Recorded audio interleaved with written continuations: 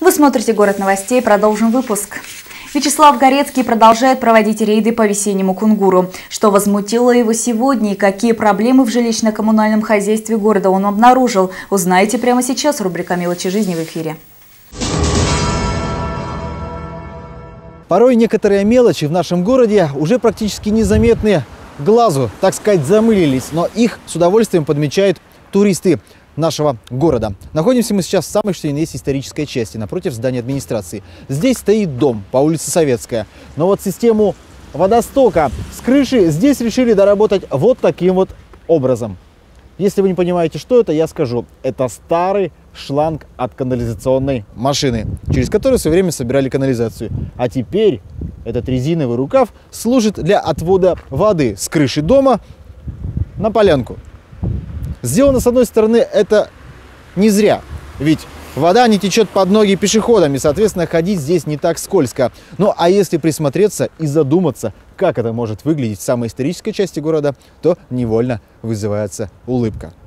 На лицах туристов я заметил усмешку и слышал замечание, а неужели нельзя было трубу сделать сразу же с этой стороны? Как бы то ни было, подобные вещи ну, действительно вызывают улыбку. Я очень надеюсь, что в год экологии когда к нам приедет множество, приедет множество туристов, а также э, как Центр культуры Пермского края, подобное исчезнет с лица нашего города.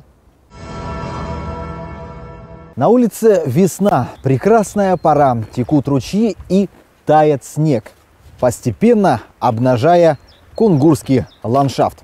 Мы находимся возле дома по улице Пролетарская, 143. И то, что открывается здесь взгляду, трудно описать словами. Сказать, что это свалка, ничего не сказать. Сказать, что это заброшенная помойка, наверное, тоже слишком мягко сказано. Это просто настоящий коммунальный беспредел, который либо не вывозят из-за того, что за него не платят, либо из-за того, что это просто нафиг никому не надо. Прошу прощения за мой французский, но по-другому язык не поворачивается назвать то, что мы здесь увидели.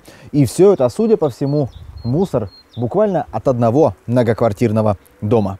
Судя по объему мусоросборочной машины, здесь не бывало, наверное, уже вот уже несколько месяцев.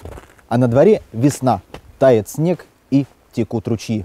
И очень скоро эта замерзшая куча превратится в настоящую биологическую бомбу замедленного действия. И мелочь эта никоим образом не красит наш город в год экологии.